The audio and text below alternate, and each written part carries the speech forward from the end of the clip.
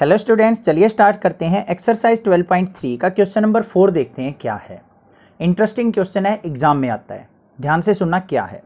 Using section formula show that the point this this and this are collinear हमने क्या करना है section फॉर्मूले का यूज़ करते हुए इन तीनों पॉइंट्स को क्या करना है कुलिनियर प्रूव करना है। तो कैसे करें? ध्यान से देखो, हमें जो कोऑर्डिनेट्स दे रखे हैं वो लिख लो। ये कोऑर्डिनेट्स दे रखे हैं टू माइनस थ्री और फोर। ये कोऑर्डिनेट्स दे रखे हैं माइनस वन, टू और वन। और ये पॉइंट्स मान लेते हैं हम कहीं बीच में लाई कर रहे हैं। कहीं भी लाई कर सकते हैं, बाहर भी, यहाँ पे भी, इधर भी, कैसे भी। तो ये पॉइंट्स हो गए हमारे zero comma one by three comma two. ठीक है? एज्यूम किया है हमने। कोई पर्टिकुलरली उसने मेंशन नहीं कर रखी इनकी पोजीशन तो ये पॉइंट मान लेते हैं ए है, ये बी है और ये हमारा क्या है सी ऐसे ही। अब हमें क्या निकालनी है कि ये अगर तीनों कुलिनियर हैं तो ये सी पॉइंट इस दोनों पॉइंट्स को कुछ रेसो में डिवाइड करता होगा, के रेसो वन में। अगर मुझे ये रेसो मिल जाए तो मैं चेक कर सकता हूँ कि ये पॉइंट्स लाइन के ऊपर हैं या नहीं है। तो सबसे पहला काम क्या है हमारा? रेसो फाइंड आउट करना। तो चलिए देखते हैं रेसो कैसे फाइंड आउट करेंगे। ध्यान से देखो। सबसे पहले जैसा हमारा क्वेश्चन नंबर थर्ड था, सेम वही स्टेप हमने फॉलो करने हैं।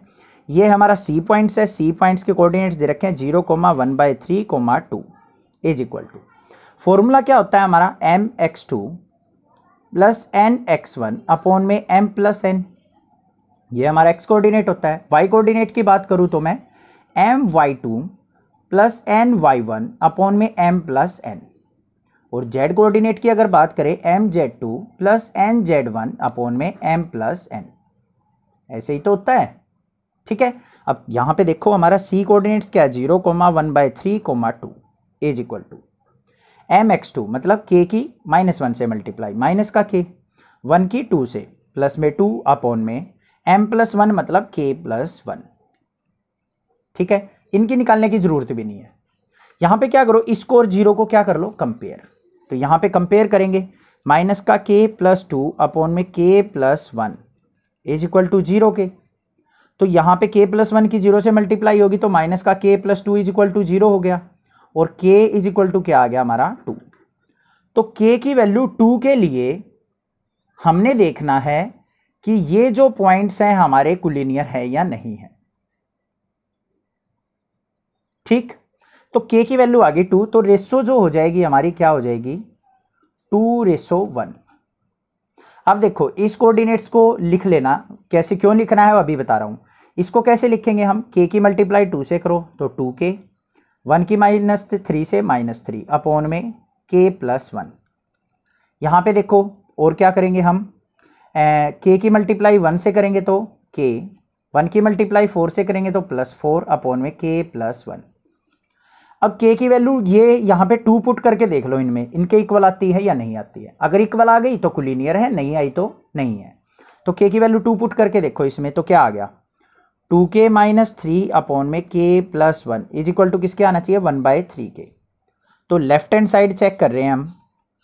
के की जगह टू पुट किया टू टू जा फोर फोर में से थ्री गया वन अपॉन में टू प्लस वन थ्री तो one by three equal to one by three आ गया या नहीं आ गया? इस पर चेक कर लो। तो ये क्या आना चाहिए? के प्लस फोर अपॉन में K plus one is equal to two two चाहिए। टू पुट करेंगे फोर टू जा फोर और टू सिक्स अपॉन में two plus one three three one जा थ्री थ्री टू जा सिक्स तो टू इक्वल टू क्या आ गया? टू। तो इसका मतलब क्या है? ये पॉइंट इस लाइन के ऊपर ही लाई करता होगा कहीं। ठीक है?